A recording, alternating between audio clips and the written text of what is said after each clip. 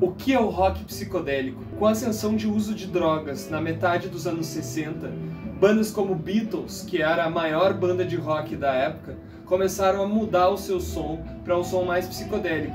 Também foi com a ascensão da geração hippie, que buscava vários ideais anticapitalistas, anti tudo e todos, por um bem maior.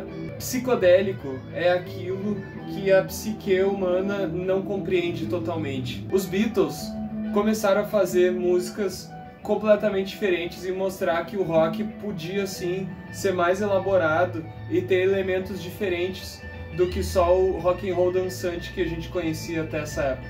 Várias bandas começaram a surgir que faziam esse estilo de som, como Pink Floyd, Jimi Hendrix, e esse som foi essencial para a criação do hard rock, do heavy metal e do rock progressivo, e até do punk rock. Tem umas bandas que, tipo assim, por exemplo, o Black Sabbath surge de, dessa cena, o Led Zeppelin surge dessa cena. Tem umas bandas assim que tu parece tipo um Black Sabbath só de mulher hippie que tu encontra na internet.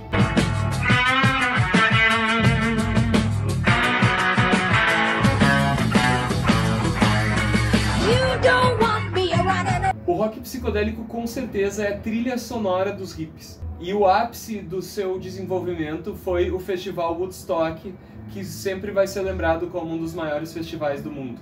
Só que esse estilo não morreu ali. Existe até hoje. O indie rock teve um revival, bandas como Tame Impala trazem elementos do rock psicodélico até hoje, o rock progressivo, metal progressivo e até algumas bandas de metal mais extremos como Voivode e Vector.